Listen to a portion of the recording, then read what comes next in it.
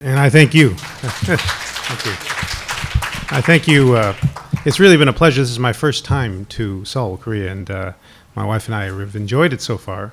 I wish we could spend more time here. I hope we will. But right now, we're so busy learning, we can't go out to the city. But it's still really enjoyable to meet everybody, including some familiar faces and many new faces, too. I apologize if I talk too fast for my morning lecture. I only had 20 minutes this time I will try and talk a little slower because I'm the only speaker. So, so and, and I think most of this information I'm going to give you is probably nothing you don't know anyway, because I think, as we say, we have a uh, saying in English, we're preaching to the converted. The fact that everyone's here means everybody believes in pathology and learning about autopsy, so I don't have to convert anybody. We already know. We already know how important it is and, and how it will continue to be important going forward to even though we have all these other forms of non-invasive, powerful non-invasive in imaging right now. I don't have any disclosures that are relevant to this presentation. The question I have, and I was thinking of a song in English, they, they say, you know, where have all the flowers gone? That was back in the 60s. Well, I think I said in my mind, I said, where have all the autopsies gone? The problem is, is that autopsies is, you probably, I don't know if it's the same thing in Korea, but autopsies are not nearly as common anymore as they were back in, in the United States back 40 or 50 years ago. Uh, really, because of the time back then, we really didn't have anything else. We couldn't establish the diagnosis any, any other way than autopsy, and we really didn't understand the morphology of congenital heart disease unless we actually opened up the hearts themselves. And of course, there were many more at the time because many more patients were dying then. They didn't have the surgery that they have now. So the pioneers, and this is not a complete list. In fact, they mentioned Dr. Uh, Dr. Van Mierop, and I forgot to put him in. Maud Abbott, Maury Lev, Saroja Barota, Bharati, Jesse Edwards, Stella Richard Van Praagh, Robert Anderson, among others. The list goes on and on. Some great pioneers who unfortunately are moving out. They're getting older now. But they're the ones who established where we are today. And they're the ones who established the nomenclature and insight into congenital heart disease that we now use today.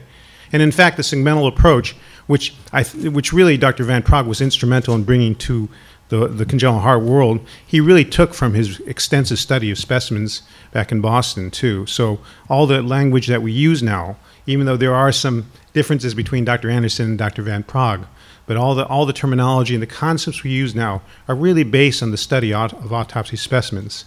This is just the two of them, Dr. Anderson and Dr. Van Praagh. And of course, we could have many, many more people too, because it's really been an incredible uh, group of people who have defined this field. The thing is that non-invasive imaging, especially echocardiography, and now MRI and CT, have greatly changed the need for autopsy, with more precise diagnoses in living patients and therefore markedly fewer surprises. Those of us who are at great institutions who have great non-invasive imaging know that we get very few surprises now when we do our, non, when we do our diagnoses. And in fact, with improved surgical results, we have markedly uh, re reduced mortality. So due to, these, due to these and other factors, autopsy results have decreased dramatically. There are other things that are important too. There are religious and cultural factors too. Nowadays, people feel a little more uncomfortable asking for autopsies. There's an unwillingness or lack of enthusiasm on the part of physicians to seek an autopsy, especially if they already know the diagnosis. They don't really get, want to get one. Nowadays, it's hard to get it paid for. I mean, it's just not as easy for uh, for autopsies to be paid. I don't know if it's the same thing here in Korea or in Japan or in the Far East, but in the United States, it's a little bit more difficult too. And so it got, has gotten to the point where some studies have even raised the possibility of postmortem imaging using MRI, CT scan as a substitute for autopsy. Just to show you right here, this is from the New England Journal. Uh, they had a nice article just talking about autopsies. And the fact, if you look back in the years of 1965, really around 1970s, look at Brigham and Women's Hospital. I mean, that was a major academic center. You had about a 70% autopsy rate. And that has dropped significantly, probably down into below 20% or even below that. Same thing with the Mayo Clinic, which I think parallels it and has an outstanding pathology collection. Same thing with Yale New Haven Hospital, which is a little bit lower, but I think you can see that the trends are pretty much there, and, and really the trends at our hospital are pretty, pretty much the same thing too. Also, again, reflecting the fact that we have a lower death rate just in general. This was an article that came out in 2015, which I thought was really interesting. Steve Sanders brought that to my attention, and he, a group of people, are actually are trying to were trying to advocate doing post-mortem CT scan to as an, in lieu of autopsy to look at a lot of different things. This, of course, is a non-moving patient, so you don't need to worry about breath holding. And so this they got beautiful, beautiful images here. but also they did some things looking at the heart with a patient here with aortic stenosis and hypertrophy and showing some uh, EFE as well. So, you know, they're just trying to say that maybe we can use this as an alternative. Parents don't really want to give up the autopsy. And we heard also about how families are a little bit more reserved and don't necessarily want to donate the hearts to science, too. So the question is, is the autopsy going the way of the dinosaur? I mean, are people going to just not do autopsies less and less? Are they doing them less and less? And I think all of us here, it looks like a fairly big crowd over here, feel otherwise. Despite superior non-invasive imaging and continued improvement in our technology, these techniques cannot get the fine detail of autopsy. This is my own, my own feeling, including the microscopic and histologic confirmation that sometimes you need with the ultrastructural abnormalities, as well as some genetic testing if you need that too. The other thing that I think we find, and you'll find as you look at these specimens, and it is a great love of mine too, is you really learn a lot about anatomy and pathology that is not available, at least right now, with other current modalities. And I hate to say this, even 3D printing has its limitations too, particularly when it comes to the valve structures and some of the fine details. You just don't have that with a really good autopsy or pathology specimen. And sometimes the confirmation of findings can be quite dramatic and memorable. It is extremely important and useful for teaching and learning echocardiography. I was one, on the committee that sat with uh, in, the, in, uh, in, the United States on trying to recommend echocardiography recommendations for fellows in terms of training, and we all feel that pathology still plays a very important role in teaching fellows too. Not, not every place has one available, but we feel lucky that we do. So I think those places that have it need to continue to harness it and use it as you have done here so well. The actual process of analyzing the heart along the lines of blood flow is incredibly valuable in understanding segmental approach. Also, to maintain a registry of specimens for teaching and reevaluation, I think is very, very useful. They're invaluable teaching aids, and it's also becoming increasingly difficult to find a patient that hasn't been operated on with complex heart disease. And so, therefore, it's really nice to have these older registries. Also, some of these procedures don't we see, we don't see anymore. Waterston, Potts, shunt, things of that sort. We have some of those in our registry too. It's kind of fun to show uh, fellows and and, and you know residents about that. Mustard procedures, Senning procedures. We don't see that much anymore. It's kind of nice to show what does that look like. And some unusual specimens are literally one of a kind, and these can illustrate some very important principles of CHD evaluation. So, uh, and, and the last thing, of course, is that the autopsy still is the, considered the gold standard for a lot of things too, when you're really not sure about it. Now, what are some of the potential disadvantages of autopsy and pathology and where you really need these non-invasive tools or live imaging? First of all, you really need somebody who likes this and knows what to do with it too. And so I can tell you that most pathologists in the, in the United States, just board, you know, board certified pathologists, don't have a lot of understanding of congenital heart disease. So you really need somebody who has really good understanding of congenital heart disease. And that takes time. and It takes somebody who's really interested in doing it. So I do it over children's, but I don't get paid more because I do it. It's part of something that I like doing. I enjoy doing. It's my passion. But if you don't have somebody who's like that, you may not have. It may not be as easy. And it is very time labor intensive. Sometimes it takes me a couple hours to work with somebody to, to dissect a heart, especially if it's a post patient who's had several surgeries and a lot of scarring and very complex. It can take a while. And the other thing too is that you have to dissect it carefully too. Otherwise, you're going to hack things up. Hacking means just chopping things up you know, sort of like with a Ginsu knife or something like that, so to speak. You don't want to do that. You really have to be careful. You have to take care of these specimens almost lovingly to be able to look at them. And that also requires that you know exactly what was done, what was what happened. So I have to review a lot of the imaging. I have to review a lot of the history to make sure I know exactly what are the questions I need.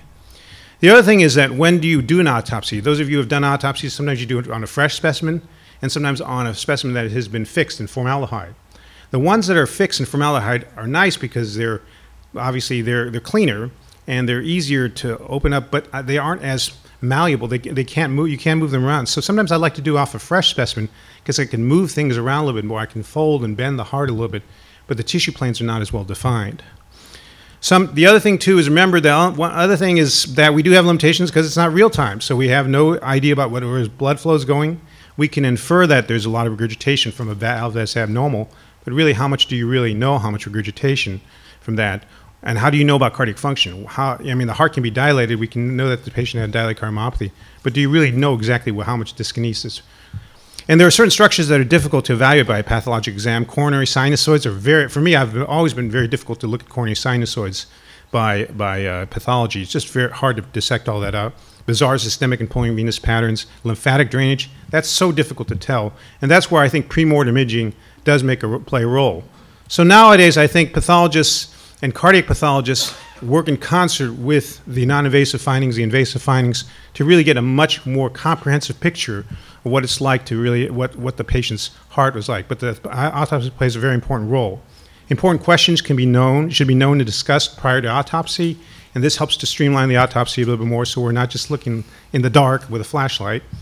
And the cardiologist and cardiac surgeon can be present. We've had Dr. Kim on a few uh, when he's going to come over in a couple of cases. Unfortunately, some of them are his cases. and we've talked a little bit about that, but he provides some valuable insight because of the things that we looked at. Now I'm going to show an interesting specimen regarding that. Now, what are some of the examples of valuable findings obtained from an autopsy pathology evaluation? And again, I'm not going to give you a lot of this. I'm just going to show a few interesting examples because I'm sure everybody has seen a lot of this on their own. It's insight into structural cardiac anatomy and pathology, AV canal defects, conotruncal abnormalities, other abnormalities, things that really don't understand that well, even looking at the 2D and 3D imaging on a screen. This is, there's nothing like taking that specimen in your hands and looking at it. There's good correlation with non-invasive imaging too. We often use it to correlate our especially the autopsy, any findings that we have. Fortunately, we find that most of the time we're right, but every once in a while we get fooled. Reinforcement applications of findings not readily seen or understood by non-invasive or invasive imaging. And I'm going to show you a very interesting example of that. And the newer surprise findings, sometimes we do find something that's a little bit weird, but does explain what happened and, and will teach us a little bit too. So let me just give you an example of each one of those, and just four brief examples, and then we can get onto the pathology here. I'll show you a patient with 14-year-old with arrhythmogenic RV dysplasia, which we know manifests with ventricular arrhythmias and right-sided heart failure. It's a terrible condition there. And so this patient underwent heart transplantation, not strictly speaking an autopsy. It was really just taking the whole heart. But I remember taking the whole heart and going, wow, this is fantastic. Now the MRI and the echo were done. And I only have the echo, unfortunately. I don't have the MRI, but you can see how poorly functioning this echo is here. Look at that. Very, very abnormal, very large right atrium, and a lot of regurgitation of this uh, tricuspid valve. Do you have this condition a lot here in, in Korea, ARVD? Not so much, but maybe a few, right? Yeah, and they look like this. And they're abnormal, there's no doubt about it. But the interesting thing about this over here, and you can kind of see how this tricuspid valve is not closing, and there's a lot of regurgitation. This patient was having a lot of problems, and there's some mitral regurgitation as well. The LV function looks okay, not great. You can't tell a whole lot more by echo, and I can tell you the MRI didn't really add a whole lot. It showed that there was some thin-walled, poorly functioning RV. Look at that uh, tricuspid valve not moving well at all. And then you see the specimen. Look at this. This is, a this is incredible. This is all fat. In, uh, in the U.S., we, uh, we, we have a, a, word in Spanish we call it like it looks like a chicharron. Looks like a, looks like a big pork chip. So it's like. But I thought this was just amazing because I had never seen one of these myself. You can see the fat covering, completely covering the front and back of the heart here. But not only that, but infiltrating the walls of the whole right ventricle. Look at this. This is the right ventricle opened up over here. Here's the papillary muscle Lancisi we heard about. Look at this RV free wall. It has been replaced almost completely by fat. In fact, we translumate it here, and that's all you got. And that's the reason why this thing isn't moving at all. Now, does it make a huge difference? Not, maybe not really, but I think it gives a little bit insight into what's going on. When you see this, you really can't appreciate this by, by any of the other non-invasive means here. And you can see how thick that, that fat wall is here. But the other thing that's interesting is that it actually affected both sides. What we found over here, we went over here, you can see this yellow streak here. There's fat also around the aortic valve and mitral valve. We, here's the interior of the left ventricle, and we opened up a papillary muscle, and we could see that there was fat in there too. So this is a disease that affects not only the right side, but actually affects the left side too. So it's just a fascinating example of that. Let me show you another interesting example of a patient, a newborn baby. This is correlation with imaging. A newborn baby with a history of hypoplastic left heart syndrome, diagnosed postnatally, begun on PG, transferred to CHLA for evaluation, but on an X-ray noted to have asymmetric opacification of the right lung, an echocardiogram confirmed hypoplastic left heart syndrome, left pulmonary venous drainage to the left atrium, right pulmonary venous drainage was unclear, and we did a cardiac cath which showed partial anomalous pulmonary venous return. All the right veins drained in the azygos vein with a 24 millimeter mean gradient from where, before to after that. So you know it's highly obstructed patient was not felt to be candidate for surgery and ultimately left to expire. So we had this fresh specimen over here. I'm not going to show you a whole lot about it, but I will show you some just to show you, here is the admission x-ray, and this is one who had been sent over to go for a Norwood procedure. And look what happened over the next few days. You had both sort of an obstructed veins pattern and as well as flu fluid in the right lung there too. This is just to show you the angiogram. I don't, I'm not going to show the echo, but you can see here's the azygos vein draining into this over here. And actually, and Frank will probably correct me if I'm wrong here, but then if you have the, you inject in the right pulmonary artery, you will see that the right pulmonary veins come back to the azygos and then back into the SVC. And uh, sorry, let me just go down here.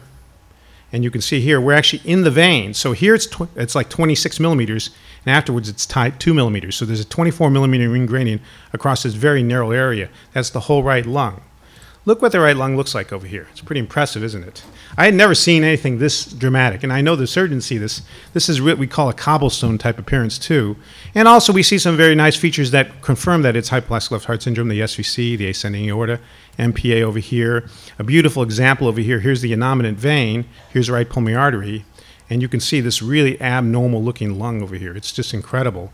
Uh, this is really the heart, how beautifully you can see this, the aortic arch, the ascending aorta, very small, only a couple millimeters in diameter. And uh, basically just showing over here, here's the azygos going up into the, uh, into the SVC, and here are the right point veins, and they'll come down. This is actually where they enter into. Here's the SVC, this is the entrance into the SVC of all those right veins coming in there too. And only measured about a millimeter in diameter too. The other thing that's interesting is here's the left ventricle. Look how small it is. It's tiny. This I didn't show you the echo, but this was a very tiny thing. There was actually a little blood clot in it, so this is the cast of the blood clot too. How small it is there. There's barely anything there at all. And again, this is the, the right point veins coming back into this kind of into this little chamber over uh, little little confluence, if you will, over here too, that eventually entered into the azygos vein.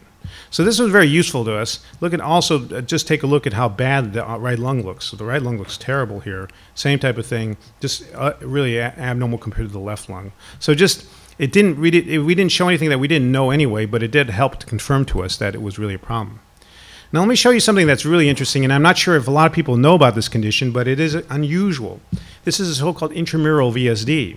Strictly speaking, it's not true VSD. I don't know how many of you have seen one of these.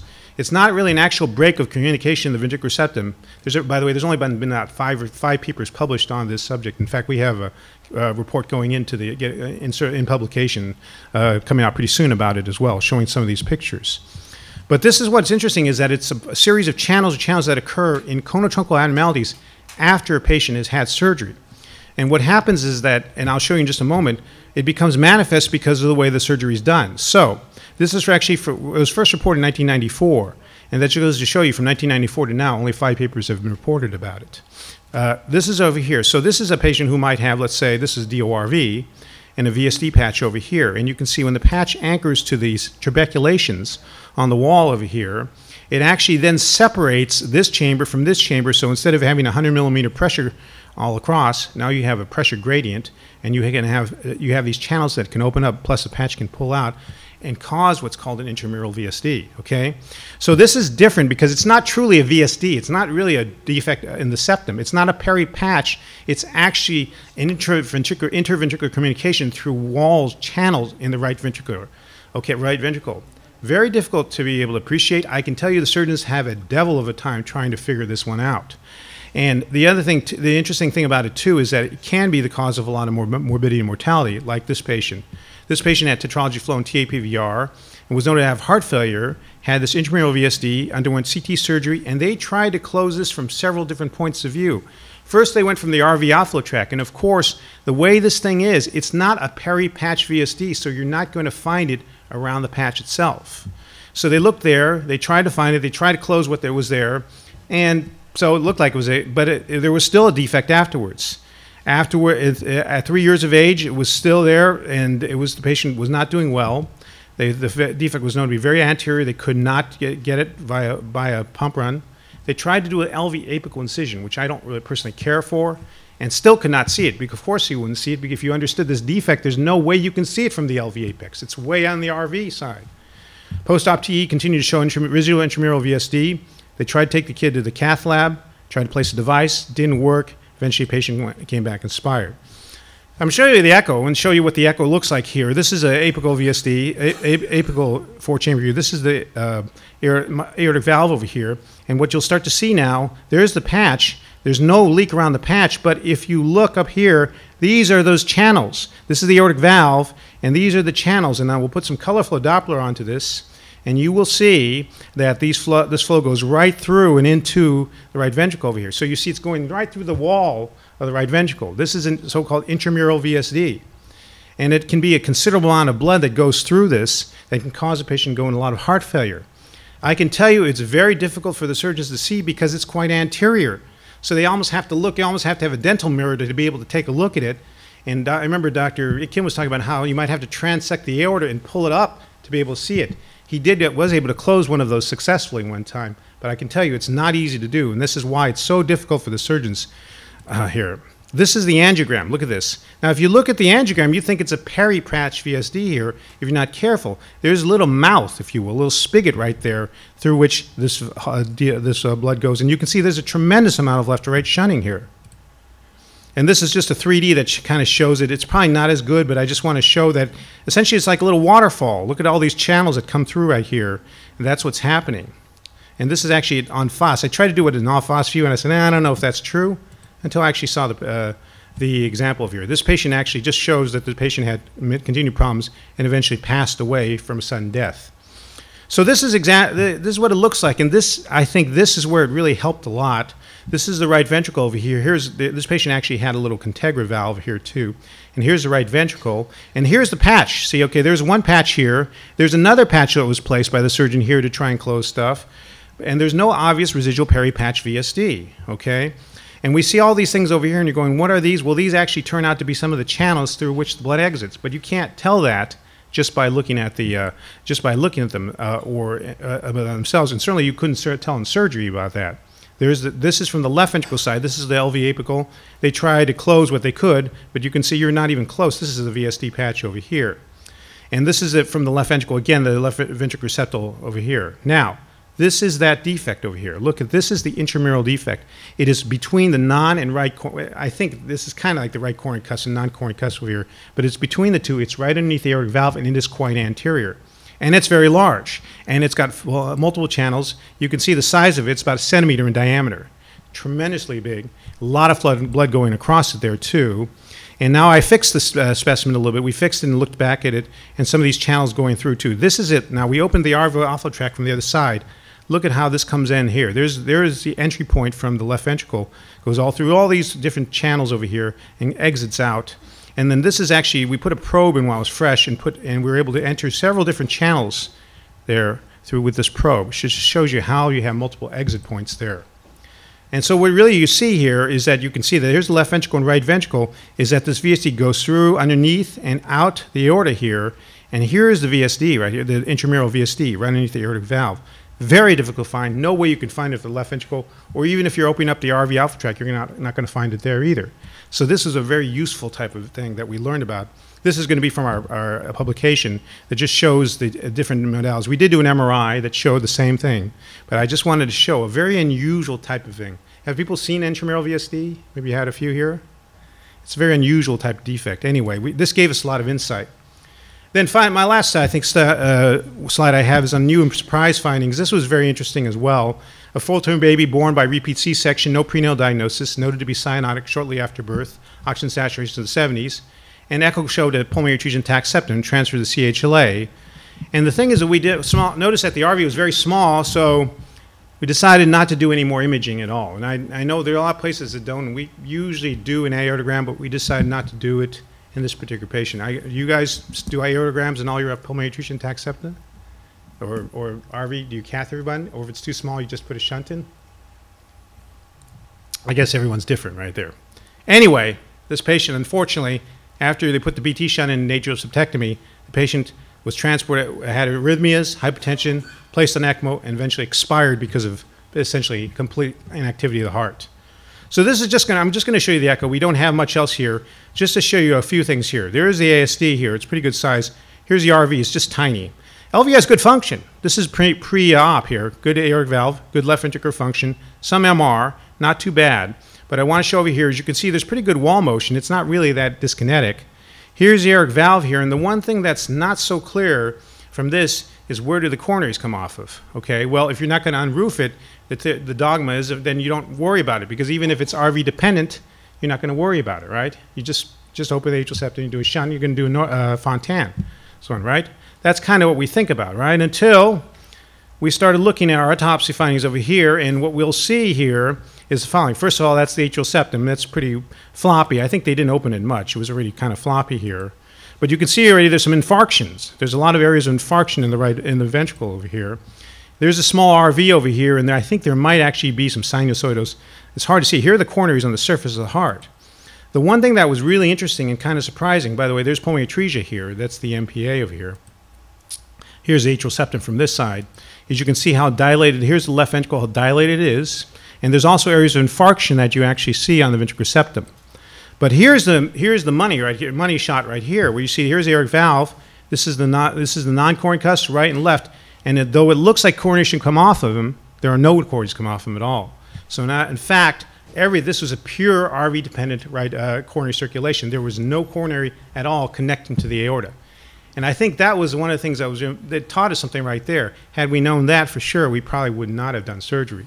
This kid, this kid, maybe you do a hybrid. Maybe I mean, maybe you do a ductal stent, or maybe you just do. But I think you do as little as possible for this particular patient, and maybe you set, set this kid up for a, tra a transplant and had this kid had diffuse infarctions. Not surprisingly, I'm sure after they uh, put the shunt in, maybe they opened, maybe the atrial septum. I didn't look it was that open, but it, the kid was very destabilized. They were worried about a BT shunt uh, throm thrombus. There was none. This is all post post mortem, so that was okay. So, in summary, uh, I think a pathology registry and active cardiac autopsy service are invaluable for any top-notch pediatric cardiac program. It strengthens understanding. It's good to have somebody who really understands the pathology, can argue with the surgeons about it too, all that. I think it's be likely will continue to be important in the future for verification, even with higher resolution imaging, 3D printing, virtual reality, and even holography if that comes into play. And training in pathology continues to be a highly recommended tool for cardiology and cardiac surgery trainees. And this is a this is a beautiful Yosemite Falls in Yosemite. If you've never been there, if you come to the United States, I highly recommend you go. It's beautiful. It's one of the it's like the fourth or fifth lo longest, tallest falls in the world. It's beautiful. So, thank you very much. Appreciate it. Yeah.